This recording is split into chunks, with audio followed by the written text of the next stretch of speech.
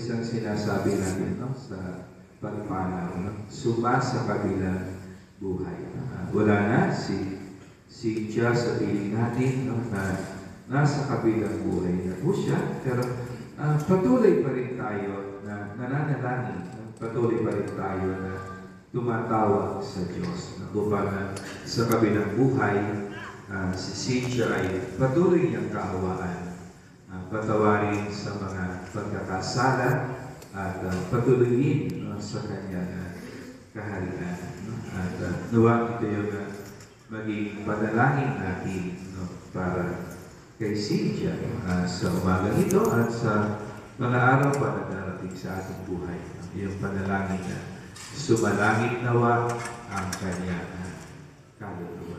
At sa uh, sa paghahalin natin no, kay Cynthia sa huling nantugan. Uh, sana uh, mahirapan, no? sana batiin natin siya. Uh, Merry Christmas, ano, Cynthia. At uh, Merry Christmas in both. Tatayo ba tayo lahat?